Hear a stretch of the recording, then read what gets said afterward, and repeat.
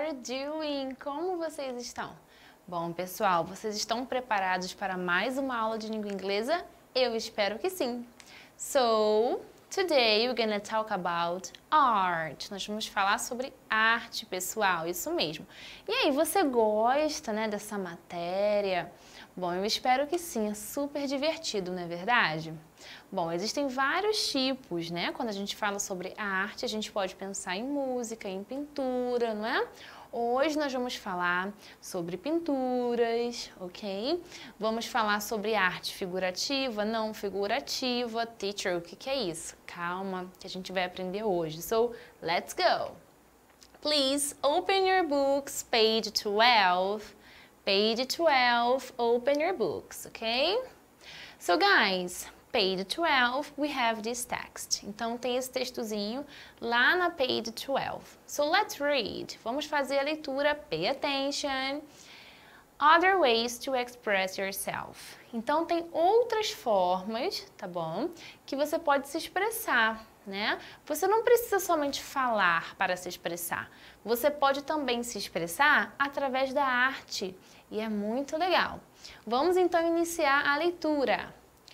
Do you remember your drawings from when you were a child? Né? Então você lembra dos seus desenhos de quando você era criança? Geralmente quando nós éramos crianças, né, as crianças gostam muito de desenhar, de pintar.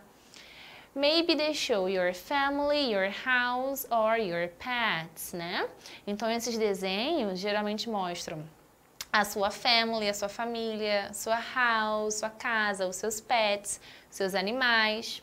Children paint the objects they know. Então as crianças só vão né, pintar aqueles objetos que elas conhecem, não é verdade?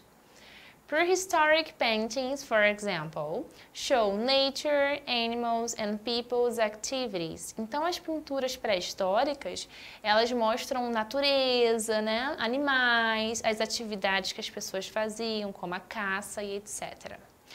We call this kind of art figurative because it shows real objects or real people. E esse tipo de arte, pessoal, que demonstra coisas reais, como pessoas fazendo alguma coisa, ou objetos reais, são imagens ou artes figurativas, figurative, porque demonstram coisas que realmente existem, tá bom? But how do you paint concepts or ideas like love? Mas como que a gente pode pintar conceitos como, por exemplo, amor? Pinte o amor. Como, né, pessoal? Não é figurativo. Você não pode realmente representar o amor em uma pessoa ou em uma coisa, não é? Não é algo assim, né, tão é, material. Amor não é material. Do you think everyone imagines these concepts the same way? E você acha que todas as pessoas é, acreditam que o amor né, tem o mesmo conceito? Todas as pessoas têm o mesmo conceito sobre o amor? Né? Por exemplo, se eu falasse assim, pinte o amor, paint love, você iria talvez, né, fazer algo bem rosa, ou então bem red, bem vermelho, né? São cores que lembram o amor. Outra pessoa talvez iria pintar com outra cor, porque ela não estava muito bem naquele dia. Então as pessoas têm ideias diferentes, tá bom? When an artist, paint, an artist paints uh, about feelings or concepts without showing real objects or people, then the painting is non-figurative.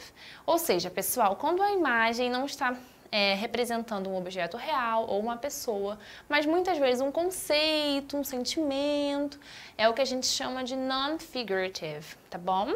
Agora sim, a gente já tem ideia dos conceitos, né? Por exemplo, amor, tristeza, alegria, tá? Imagine two paintings about winter. Vamos imaginar agora duas pinturas sobre o winter, o inverno.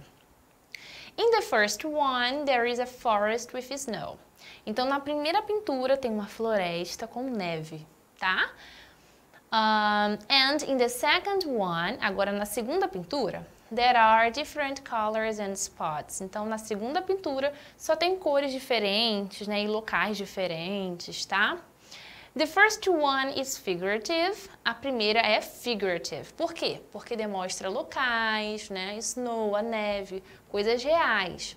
Já a segunda, que só tem cores, né?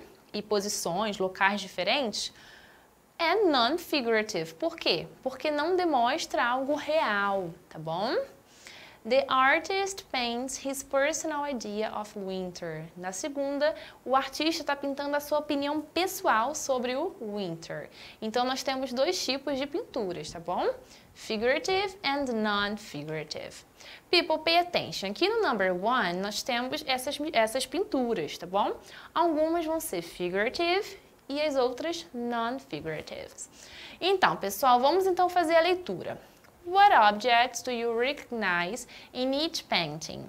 Write down below each picture. Então, em cada imagem, pessoal, a gente pode reconhecer um objeto, não é verdade? Ou alguma coisa, por exemplo, number one. O que, que você consegue ver na imagem do number one? Bom, eu consigo ver um rocket, né, um foguete, eu consigo ver stars, as estrelas, e vocês devem escrever aquilo que vocês estão vendo nas imagens, ou pelo menos aquilo que vocês conseguem ver nas imagens. Teacher, essa imagem está bem difícil, ok, mas o que, que você consegue enxergar, tá bom? Teacher, onde eu vou procurar esse vocabulário? Pessoal, a aula de língua inglesa tem que ter o que do lado? Dictionary, isso aí, o dicionário. Teacher, posso baixar o dicionário no celular? Também pode, tá bom? Lembrando que é muito importante ter um dicionário em inglesa. Bom, pessoal, então vocês vão escrever aqui o que, que vocês estão vendo no number one, no number two, number three, number four e number five, tá bom? E nas nossas aulas nós vamos conversar sobre o que vocês conseguiram ver. Podem pausar o vídeo para realizar a atividade. Agora, pessoal, aqui no number 2, vocês devem colocar a numeração das imagens. Quais imagens são figurative e quais imagens são non-figurative, tá bom? Por exemplo, ó, o number 1. No number 1, será que eu consigo ver um objeto real ou não? Não é um objeto real, aquilo não existe. Bom, eu acho que é real, né, gente? É um rocket, é um foguete. Então, o number one eu iria colocar aqui, ó. Number one. Iria colocar o número um. Tá bom? Então, vocês vão classificar as pinturas em figurative and non-figurative, tá bom? Então, agora pode pausar o vídeo para realizar essa atividade. Ok, people. Agora no number three, o que vocês vão fazer aqui, ó? Pay attention. Draw a figurative picture and a non-figurative picture about adolescence. Pois é, pessoal. Aqui vão vocês vão desenhar, perdão, uma imagem figurativa, ou seja, algo real que existe, uma pessoa, um objeto. E aqui, não figurativo, ou seja, não precisa desenhar nada que existe. É, vocês podem fazer uma pintura mais abstrata, por assim dizer, tá bom? Sobre o que? Vamos para lá. Vocês vão ter que pintar algo que remeta à adolescência. Vocês estão nessa fase, não é verdade? Quando vocês falam sobre adolescência ou quando vocês pensam em adolescência, o que, que vem à mente de vocês? Aqui precisa ser algo real, algo que existe. Ah, vem à minha mente, por exemplo, na minha mente como teacher, vem a imagem dos cell phones, dos celulares. Os adolescentes hoje em dia estão muito ó, nos celulares. Então eu desenharia um celular. E aqui, né, uma imagem um pouquinho mais abstrata, eu já iria talvez assim é, colocar algumas cores, né? Porque os adolescentes são é, geralmente bastante alegres, né? Gostam muito de participar. Eu ia colocar cores bem vivas aqui. Então, aqui seria uma imagem né, figurativa de algo real e aqui não seria algo real, mas seria algo mais abstrato mesmo. Então, vocês podem pausar esse vídeo para realizar a atividade e eu quero ver a pintura de vocês, hein? Ok, people, page 13, tá bom? Aqui na página 13 nós temos mais uma atividade. Essa atividade também é de pintura. Gente, eu sei que ninguém aqui, né, é um artista, eu não sei, vai que alguém é um artista, né? Pode ser. Mas eu quero que você se esforce para fazer essa atividade, tá bom? Tem gente que não gosta de desenhar, mas é uma atividade super legal, sabe por quê? Porque a gente vai ver que nós somos diferentes tá bom? Aqui eu vou passar a mesma atividade para todo mundo, mas você, vocês vão ver a diferença entre cada um. Como assim, teacher? Não entendi. Que atividade é essa? Ó, pay attention, preste atenção. Pessoal, aqui vocês têm um espaço para poder fazer o desenho e a pintura, tá? Como é que vai ser? Eu vou falar para vocês o que vocês vão precisar desenhar. Nas nossas aulas, eu vou pedir para vocês mostrarem, tá, para a câmera o desenho que vocês fizeram. Vocês vão ver que embora eu tenha pedido a mesma coisa para todo mundo, vão surgir vários desenhos diferentes. Sabe por quê? Porque nós somos diferentes. Nós imaginamos é, as coisas de modo diferente. Por exemplo, ó, se eu dissesse assim, Draw an animal with two legs, with big legs. Desenhe um animal com pernas longas, né? Cada um iria desenhar algo diferente. O pedido é o mesmo, mas vocês iriam desenhar algo diferente, tá bom? Então a brincadeira é essa. É para vocês entenderem que nós somos diferentes, pensamos diferentes, tá bom? Então vamos lá, pessoal, ó. Vou dar, tá? Agora, é, dois comandos. Vocês vão ter que desenhar aquilo que eu falar. E eu vou ver qual foi o desenho que vocês fizeram, tá? Nesse caso aqui, gente, vai ser um desenho figurativo, figurative. Por quê? Porque são coisas reais, coisas que existem, tá bom?